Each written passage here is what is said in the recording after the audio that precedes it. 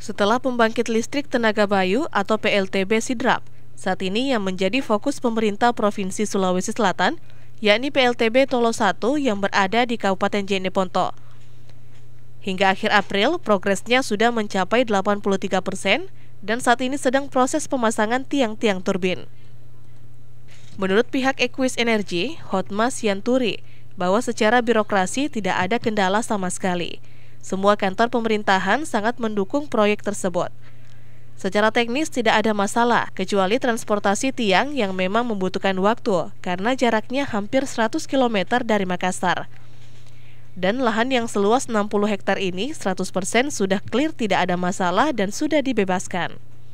Secara birokrasi tidak ada kendala sama sekali ya, eh, semua eh, namanya kantor pemerintahan sangat mendukung proyek ini. Secara teknis juga kita uh, tidak ada masalah. Yang mungkin adalah uh, transportasi tiang memang membutuhkan waktu iya. cukup lama karena jaraknya hampir 100 km dari Makassar.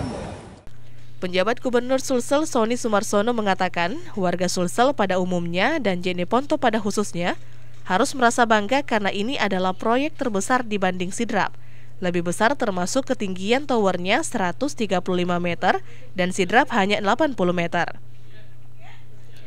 Sony juga menyebutkan bahwa Sulsel harus bangga karena kehadiran PLTB ini akan memberikan multi efek kepada masyarakat setempat. Bahkan masyarakat Jeneponto punya PLAN komprehensif jadi destinasi wisata baru.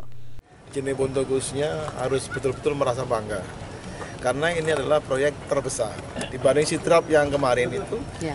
adalah lebih besar ini. Termasuk ketinggian tower tiangnya aja sana sekitar 70-an nah, pelapan sini? Lah 100 oh, 135 artinya 80 meter. artinya ini lebih besar. Yang pertama dan saya kira kalau dikatakan bukan nasional selatan se Indonesia ya PLTP dia hanya di sini yang paling besar. Hmm. ya satu dan kenapa kita harus bangga? Karena keberadaan PLTP ini akan memberikan multiplier efek terhadap secara ekonomi kepada masyarakat setempat.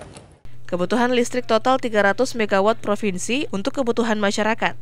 Listrik perumahan sampai industri 300 MW dan PLTB Jeneponto dapat mengcover sebanyak 72 MW. Namun secara keseluruhan, listrik yang ada di Sulsel sudah surplus, lebih baik dibanding provinsi lain seperti Sulawesi Tengah, Gorontalo, dan Sulawesi Utara. Fajar Alwi, Fajar TV dan Fajar Radio melaporkan.